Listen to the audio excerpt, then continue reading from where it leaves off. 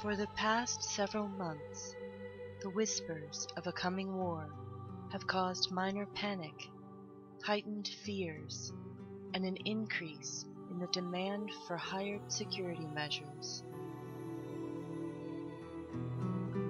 While this has been lucrative for the mercenaries of the Band of the Hawk, the growing problems are now hitting their home of Whitehawk.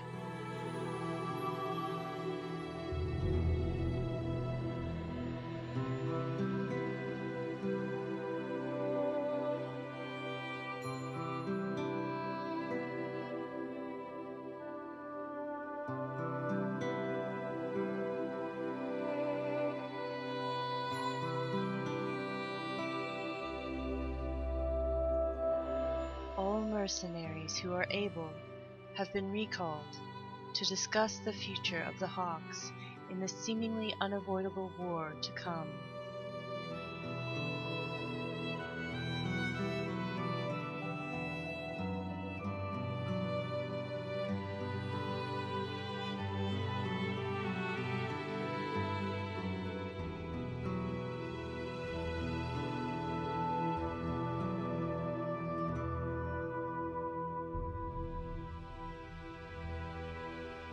On the road to Fort Whitehawk, the mercenaries notice the outskirts of their beloved home have been damaged, crops trampled, animals slaughtered, citizens injured.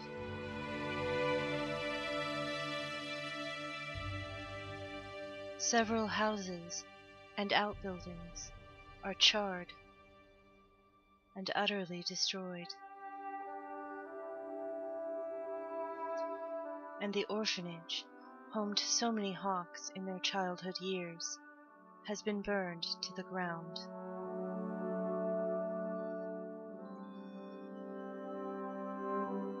The townsfolk inform the returning hawks of their witnessed accounts of the attack.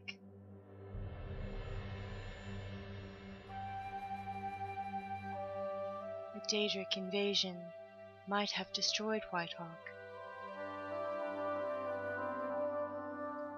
if not for Guard Captain Aaron Wyeth and his brave soldiers.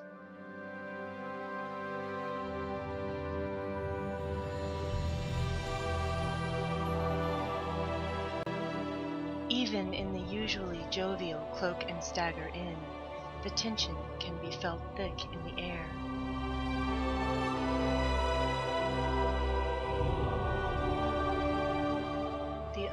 Bertrand, and his wife, Sudeni, are fearful of another attack.